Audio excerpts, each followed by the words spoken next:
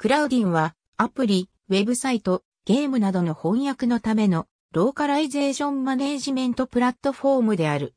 商用製品の SaaS として提供され、非商用のオープンソースプロジェクト及び教育向けプロジェクトにおいては無料で利用することができる。 Crowdin 社は小規模プロジェクトのローカリゼーションのための趣味プロジェクトとしてセルヒー・ドミトリシンによって2008年に設立された。翻訳プラットフォームは2009年1月に正式にリリースされた。それ以来、ソフトウェア及びゲーム開発などの企業で翻訳プラットフォームに採用された。クラウディンでは機械翻訳を使用することができ、翻訳者はテキストを翻訳して構成することができる。クラウディンは機械翻訳を翻訳ワークフローに統合した。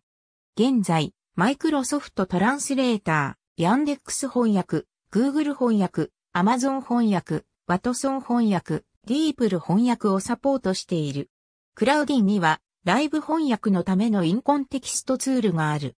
クラウディンは GitHub、GitLab、ノビトバキット、ジラ、Android Studio、Google Play などのいくつかの他社製ツールと統合されている。